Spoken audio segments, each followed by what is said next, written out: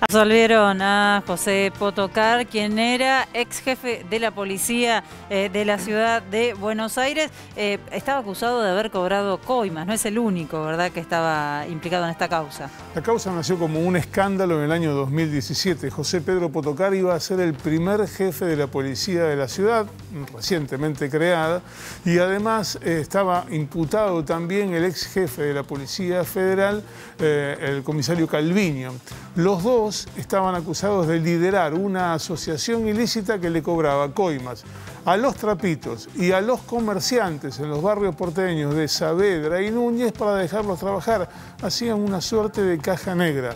Bueno, los dos que habían sido investigados, que estuvieron presos por mm, una investigación que llevó adelante el fiscal José María Campagnoli, hoy finalmente fueron absueltos por un tribunal oral también fue absuelta la ex titular de comisarías de la, Policía Federal, la subcomisaria Susana Aveni, y terminó condenado como jefe de una asociación ilícita un comisario, Norberto Villarreal, a cinco años y medio de prisión. De todos es el único que está preso.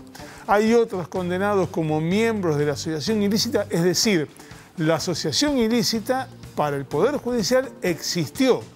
Lo que no hubo fue responsabilidad ni de Potocar, ni de Calviño, ni de Susana Aveni. ¿Sabes cómo termina esta historia? ¿Cómo termina? acaban de denunciar por haber inventado una investigación al fiscal José María Campagnoli y le pidieron ah, el juicio político. Mira vos, bueno, sigue entonces, Sí, claro. continúa, esta historia continúa.